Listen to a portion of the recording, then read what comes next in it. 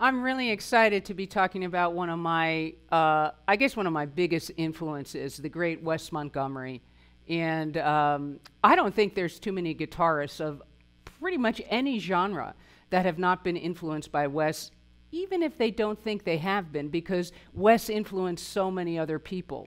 In fact, George Benson taught himself to play from listening to Wes. Wes taught himself to play uh, by listening to Charlie Christian. So there's a there's a great legacy of uh, guitarists that are so influenced, and you know by the people that came before them.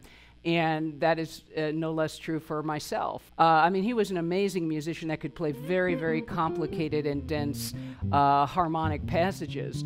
I just, I can't say enough good things about Wes. I've, got, I've, I've, just started, believe it or not, I'm starting to, to run out of, of words because I want to get into the playing